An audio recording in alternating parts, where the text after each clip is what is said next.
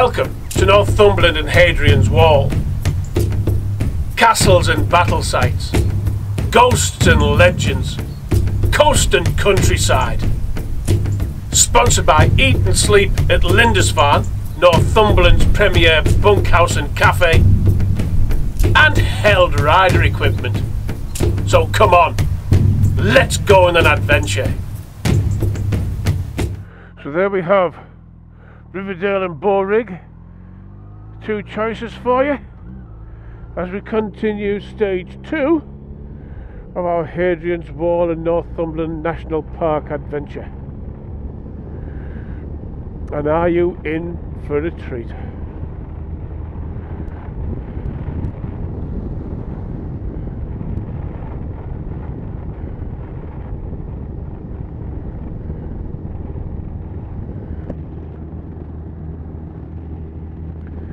Some of the sights we're going to see.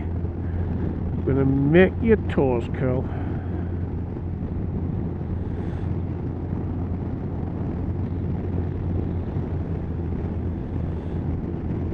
This area here is known of one of only two in the country I believe. An area of dark sky designated as an area of dark sky. Because the light pollution is zero. And on a clear night well you'll have to come to find out. But that's where we're heading up there look at through some fabulous Northumberland countryside. This whole adventure for Northumberland and Hadrian's Wall area it's not an adventure if you're looking to go for hundreds of miles as fast as you can, leaning over and zooming around. That's not what this area is all about by any stretch of the imagination. It's to come up, it's to soak in the atmosphere, it's to see the superb scenery, to ride the roads where there's not much traffic at all, and to discover and explore the history and heritage of the area.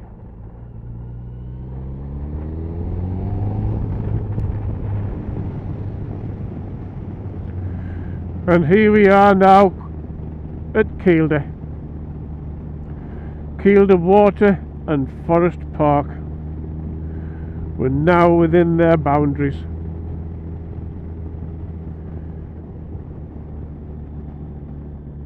And as we rise up, you're just about to get the first view to take your breath away and make your toes curl.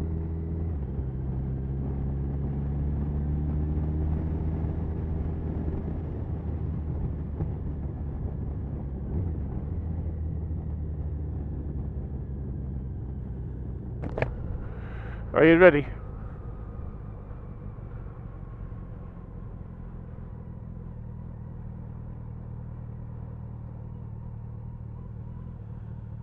There we have Kielder Water.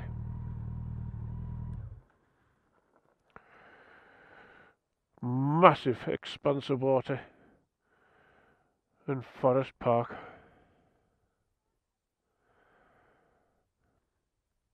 Largest man-made stretch of water in Europe and has been for many years. But something you may not know is a tunnel scheme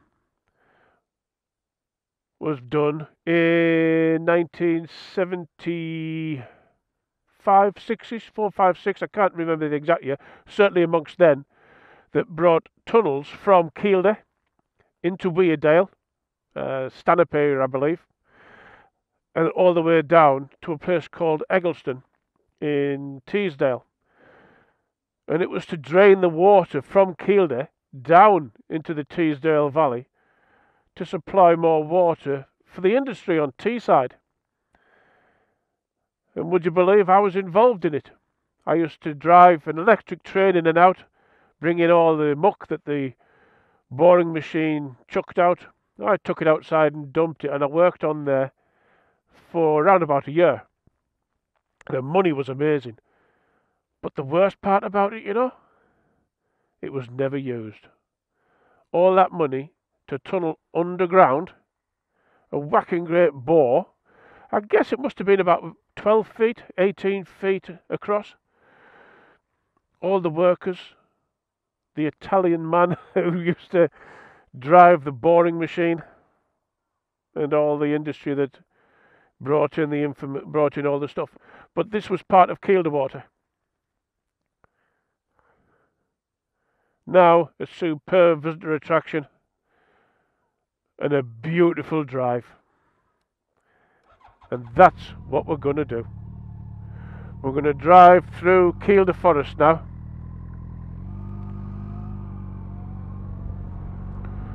But doesn't that just look fabulous with the blue sky and fluffy clouds, eh?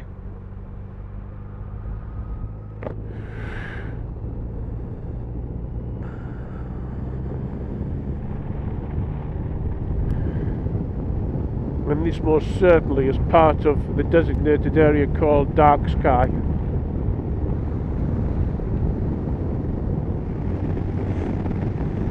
And just round this corner we're going to pull in to give you a another view of Kielder Water.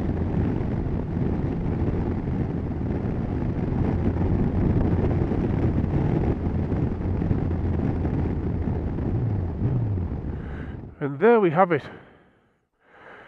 Another perspective. It's huge. Wonder how many litres of water there are in that, eh? A beautiful part of the world. So that is your Kielder Water. A rather magnificent stretch of water to say the least. But now we're going to cross the Scottish borders as we continue to ride through Kielder Forest Park.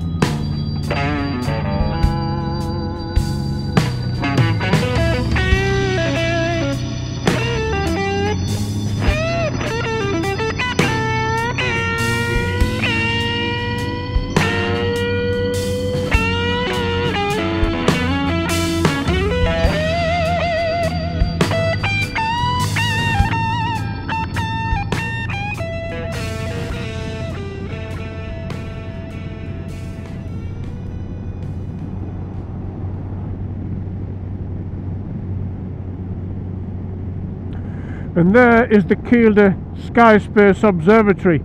You can come up here on a night and go to the observatory for the dark sky experience. Now you can turn right there and it'll take you into the village and the forest drive onto the 68 but I've heard that the road is really bad so it's best to continue on through Kielder and go into the Scottish borders because you're going to see more than you would.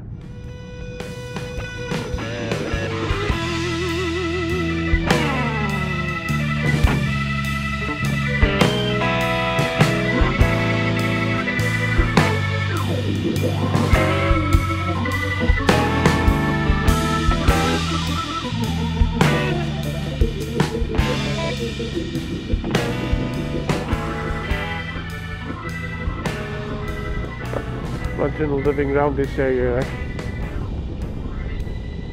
The size of the spiders from the forest coming into your home during the autumn. You know the big house spiders, the size of your hand. Must be size of dinner plates around here.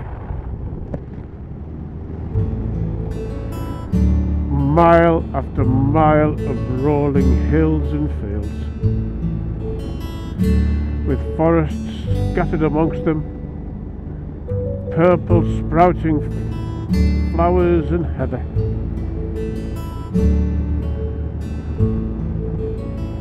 You have some of the trees just starting to turn towards the autumn as we head into September where the land will yet again change into a beautiful area of many colours. Northumberland is the area really for all seasons. Really is.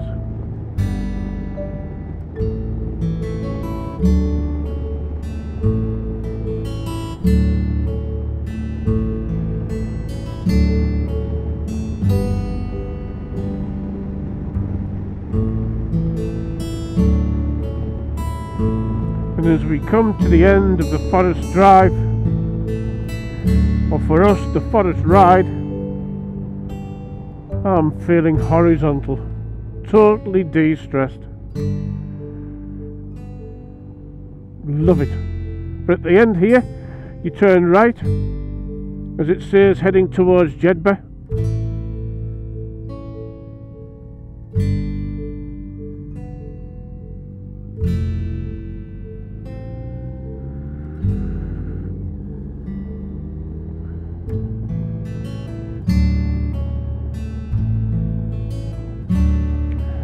Just at the end here, where it will say to turn left to go to Jedburgh, we don't.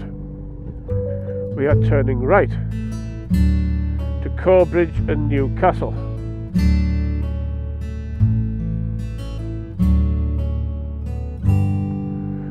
Because we've done the loop.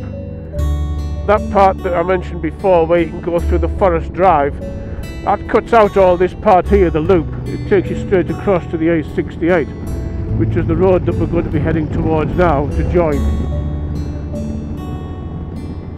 But you won't see what I'm just about to show you.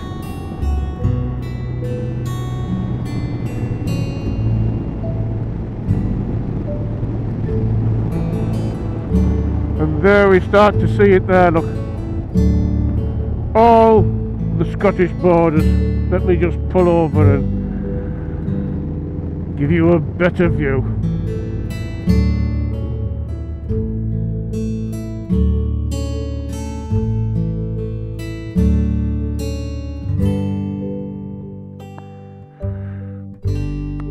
All the Scottish borders. Jedburgh's in that area over there. Right the way across as far as the... That is mile after mile after mile of rolling hill countryside. I have a funny feeling if you could see far enough, probably in that direction up there, we'd see the outskirts of Edinburgh.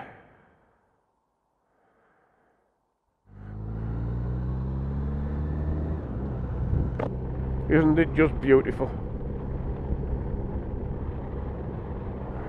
The Scottish borders. So even though we're doing Northumberland and Hadrian's Wall, we've slapped a little bit of the Scottish borders in fire as well. I don't know. Entertaining you beyond belief.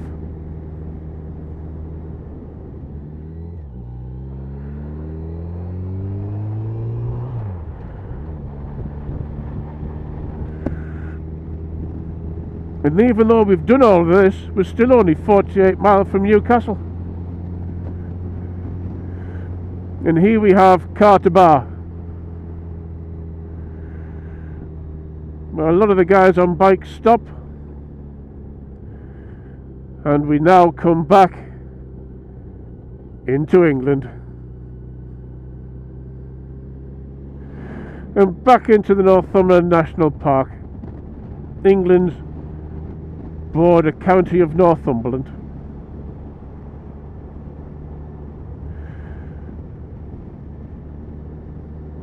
And this is miles from Hadrian's Wall, 20 odd mile. Because this area was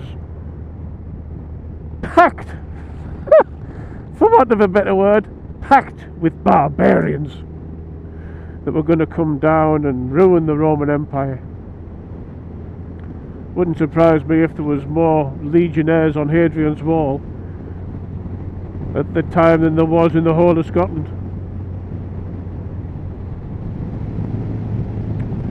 Just here you see, this is where you would come out if you'd taken the Forest Drive. 14 miles to Kielder Water.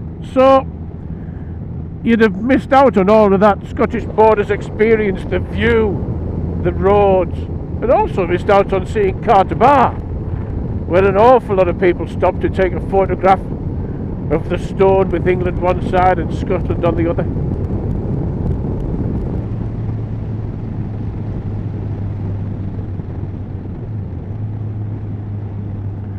Rochester, our next stop. And as you go around the bend, you see it. Camion Cafe. Loads of parking. And a fabulous selection of grub and all.